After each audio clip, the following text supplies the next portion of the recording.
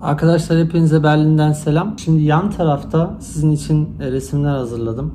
İki tane e, kendi kripto portföyümün SS görüntülerini aldım. Tabii ki rakamları sildim ama prosent olarak yeşil e, hangi coin'den veya altcoin'den ne kadar kar yaptığımı şu an görebiliyorsunuz. Hatta farklı zamanlarda iki tane çıktı aldım. Mesela bu resimlerin bir tanesinde işte mesela Solana'da %175 kar görüyorsunuz. Bir tanesinde Phantom'da %148 kar görüyorsunuz. Diğerinde de farklı bir zaman alındığı için Solana'daki kar %120, Phantom'daki kar %87 gibi e, farklar göreceksiniz. Ethereum ve Bitcoin'de de aynı şekilde bir tanesinde Bitcoin ve Ethereum yükselişinde bunları almışım. %66, Ethereum %77. Diğerinde daha az. Ee, ben bunları geçtiğimiz haftalarda yaptım. Geçtiğimiz haftalarda dediğim bir tanesini bir aşağı yukarı herhalde 10 gün küsür önce almıştım çıktısını. Ee, öbürünü de geçen hafta sonu aldım diye hatırlıyorum. Bu videoları daha önce yapacaktım. Şimdiye kısmet oldu.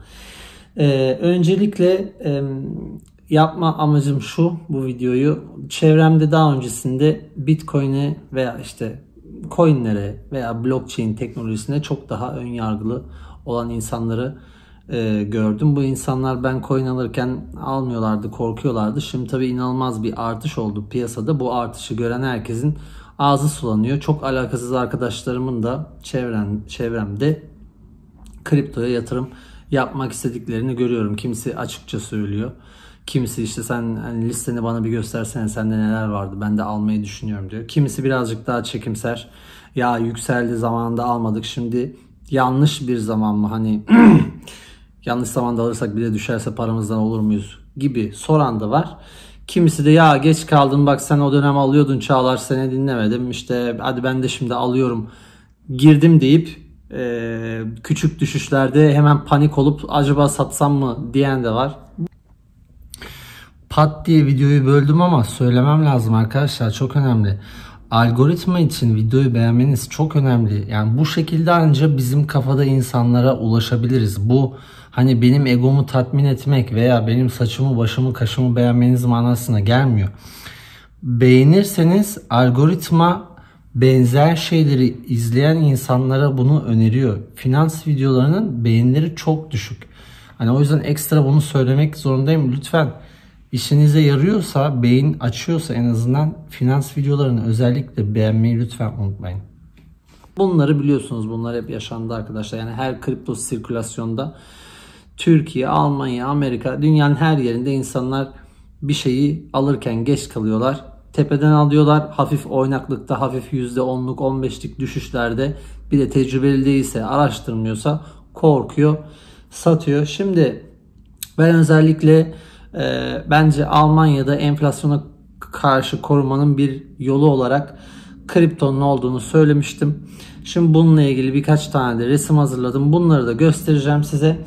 E, hatta biz bu fiyatlara başlamadan önce şu an çok aktüel sürekli Instagram'da videosu dönüyor. Resimleri de dönüyor. Ben de bir alıntı yaptım. Bakın burada size göstereceğim. Tarih içinde Nvidia hisse senedi altın ve Bitcoin'in ne kadar kazandırdığını karşılaştırmışlar 2020 yılından bu zamana kadar. Ve görüyorsunuz arkadaşlar Bitcoin aslında 2021-2022'de Bitcoin Nvidia'dan daha da fazla kazandırmış ama hani biz en sonu aşamayı baz alırsak Altın gördüğünüz gibi klasik yatırımcının, eski jenerasyonun, bizim anneannelerimizin, dedelerimizin veya anneniz babanız varsa yastık altı biliyorsunuz herkes altın koyuyor.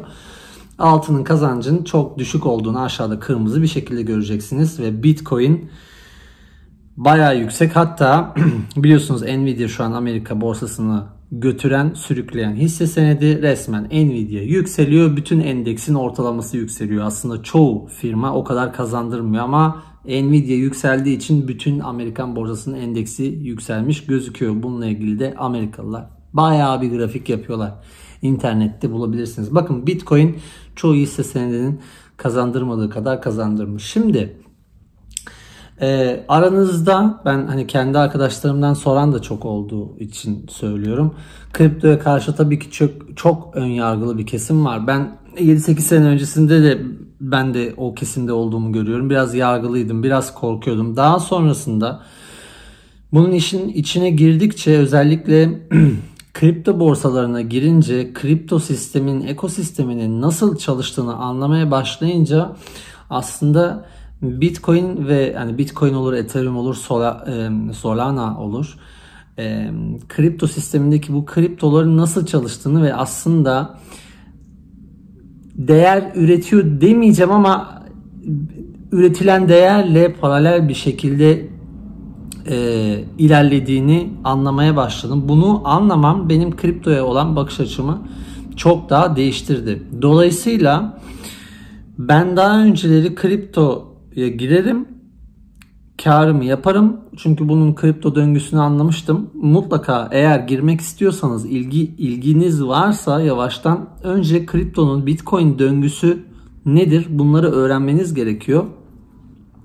Ben en azından bu zamana kadar parayı yatırmasam da döngüsünü anladığım için dedim ki tamam bu sirkülasyonda bu ayı dönemi bitiyor, boğa dönemi başlıyor ve ben buna giriş yapmak istiyorum deyip 12. ayda işte paramı yatırmıştım ve kafamda şu vardı.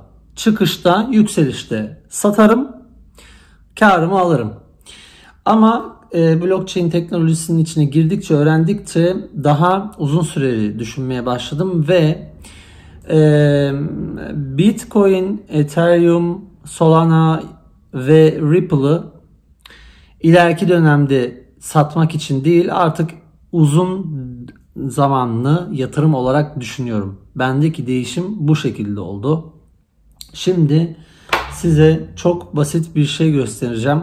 Resim çıktılarını aldım grafiklerle daha iyi anlamak için belki lan Çağlar buna uzun süreli diyor da bunun uzun süresi olur mu? İniyor çıkıyor insanların evleri dağılıyor falan filan diyebilirsiniz. Korkunuz da olabilir haklısınız. Bu arada bu bir yatırım tavsiyesi değil arkadaşlar. Ee, kimse kimsenin aklıyla bir şeye para yatırmasın e, ve para kaybetsin istemem. Şimdi bakın. Önce e, size 2019 yılının ortalarından bir grafik aldım. Ve oraya bir tane yukarı doğru bir ok çektim. Bu ok 2019 yılından şimdiye kadar Bitcoin'in ne kadar prosentüel olarak %100 mü, %200 mü, %300 mü yaptığını gösteriyor. 2019 yılında arkadaşlar 2019'un ortalarında düşükken o zaman Bitcoin düşmüş mesela. Düşükken 1000 birim yatıran bir insan 1000 dolar olur, 1000 TL olur, 1000 euro olur. Sonuçta her yerden bizi izleyen var. Bakın 2019 ortasında 1000 dolar diyelim. 1000, 1000 dolar yatıran kişinin ne kadar parası olmuş? Önce e, çubuğun okun yukarısına bakıyoruz. E, ve parantez içinde fiyatın yüzde kaç arttığını gösteriyor. Fiyat artışı arkadaşlar parantez içinde yüzde 1664.61 prosent kazanç yapmış. Yani 1000 dolarımızı yatırdık. Binin yüzde birini bulmak için önce ne yaptık? Yüze böldük. 10. Şimdi bu birimimiz Çektiğimiz oka göre 2019'dan bu zamana kadar ne kadar büyümüş dedik size?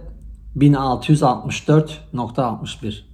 Hadi nokta 61'ini atalım düz hesap 1664 ile çarpalım arkadaşlar.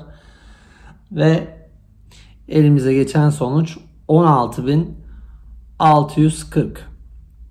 Yani koyduğunuz 1000 euro siz hiç çalışmadan oturduğunuz yerden 16.640 euro olacaktı veya 1000 dolar 16.640 dolar olacaktı veya 1000 TL 16.640 TL olacaktı. Rakamlar bu şekilde e, basitçe göstermek istedim. Tabii ki bunun çıkan düşen sirkülasyonlar oluyor. Dediğim gibi ilgiliyseniz Bitcoin döngüsü nedir araştırabilirsiniz. Şimdi benim listemdeki coinleri gördünüz. Bu coinler arkadaşlar benim birincil yaptığım portfolyodaki coinlerdi. Didiyorum çünkü bir ikinci bir coin ve altcoin portfolyosu da yapmaya başladım. Orada daha çok AI yani yapay zeka coinlerini topluyorum. Onu Bitget borsası üstünden alıyorum. Daha fazla bir şey söylemeyeceğim. İşbirliğim yok. Tanıtımını da yapmayacağım. Önermiyorum da ama şu an bildiğim kadarıyla dördüncü büyük borsa dünyada kripto borsası. Ben oradan aldım. Tavsiye de etmiyorum. Başınıza ne gelirse sorumlusu sizsiniz. Ee, bu listelerde gördüğünüz kriptoları da ben kendim Trade Republic üstünden aldım. Bunu da önermiyorum. Risk sizin riskiniz. Sonra yarın öbür gün ben oradan aldım, öyle oldu, böyle aldı kesinlikle kabul etmiyorum. Bu gördüğünüz listedeki kriptoları da Trade Republic üstünden aldım. Peki diyeceksiniz ki niye iki tane farklı broker kullanıyorsunuz? Birincisi Trade Republic aslında hisse senetlerinin alış satışı için ortaya çıkmış bir app'ti. Sonra bankaya dönüştüler. Şimdi banka oldular lisanslı. Ama oradaki kriptolarınızı bir wallet'e atamıyorsunuz çünkü kendisi bir kripto borsası değil. Yani o bir aracı kurumu olmuş oluyor. Onun üstünden başka bir kurumdan siz o coinleri almış oluyorsunuz. Dolayısıyla ileride tamam hisse senetlerim Trade Republic'te tutacağım ama onları yavaş yavaş kripto borsalarına geçirmeyi düşünüyorum. Dolayısıyla yeni açtığım ikinci portfolyoda yapay zeka e, ve başka birkaç tane daha meme coinleri ben Bitget yani gerçek kripto borsasından aldım. Özellikle gerçek kripto borsasına girerseniz kripto dünyasını ve blockchain teknolojisini anlamanıza da çok yardım edecek. Orada olay bambaşka dönüyor. Bu tavsiyemdir. Borsasını tavsiye etmiyorum ama gerçek bir kripto borsasını kullanmanızı tavsiye ederim. Şimdi arkadaşlar ben artık uzun süreli kendimi özellikle Bitcoin, Ethereum, Solana ve Ripple'ı uzun süreli tutacağım için bir de size bir grafik daha göstereyim. İleride fiyat nereleri görebilir? Bunu çok kısaca geçelim. Hani tamam Çağlar'a diyelim ki belki uzun süreli düşündük de ne kadar kar yapabiliriz? Ya da aldığımız Bitcoin ne kadar çıkabilir? Şimdi arkadaşlar bununla ilgili internette çok fazla söylenti var.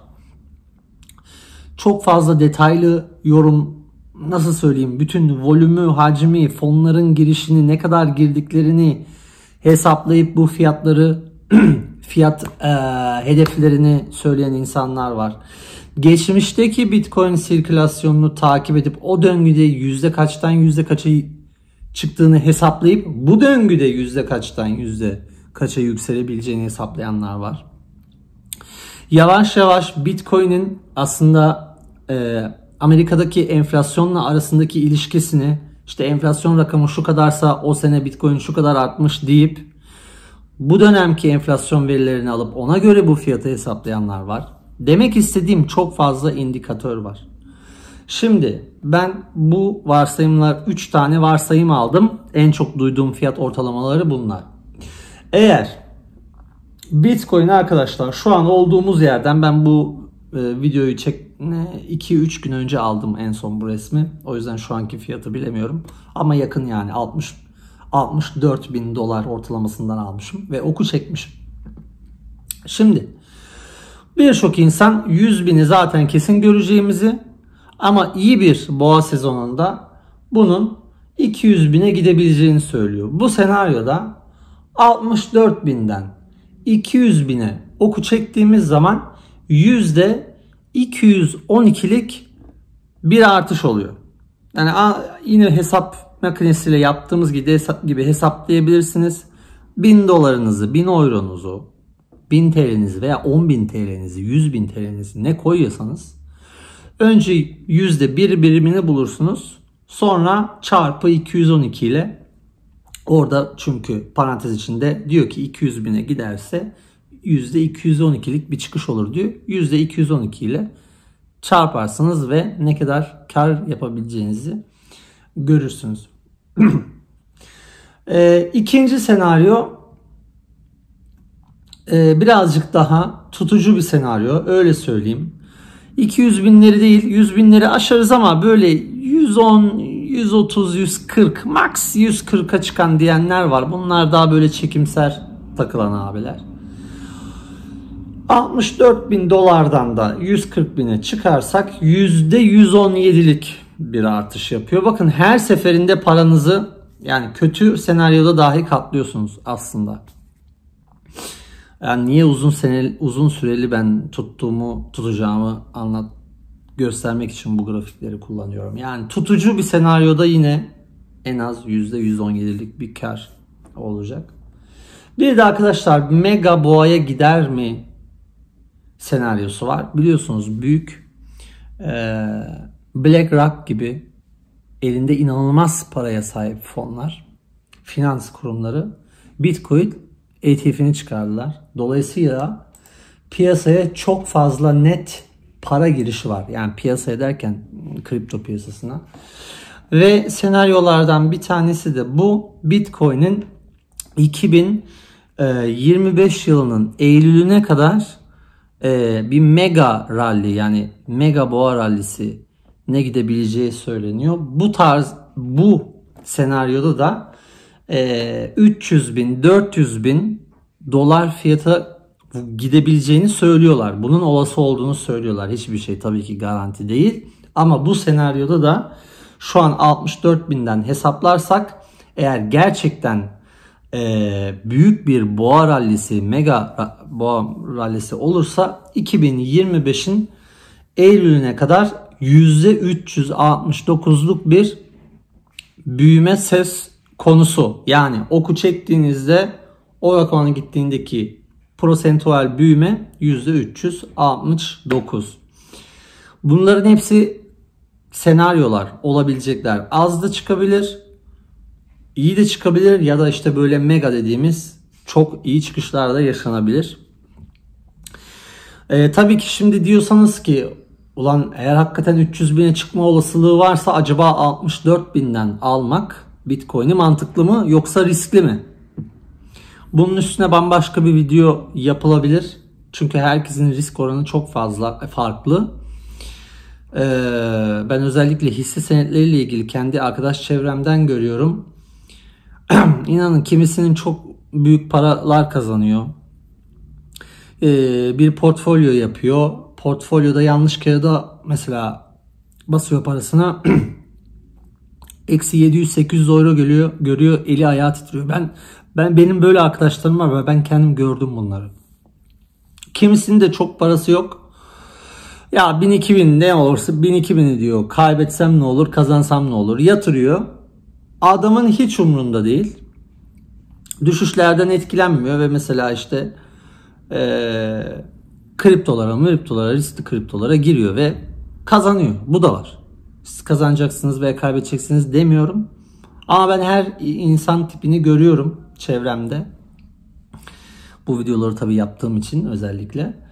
Ee, dolayısıyla bu fiyattan alınır mıyı işte bu grafiklere bakarak Bitcoin döngülerini öğrenerek kendiniz karar vereceksiniz. Bambaşka bir video konusu.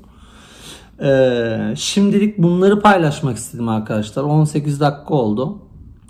Videoyu beğenirseniz çok önemli. Videoyu beğenmeniz özellikle algoritma için çok önemli arkadaşlar. Çok unutuluyor video videonun beğenilmesi.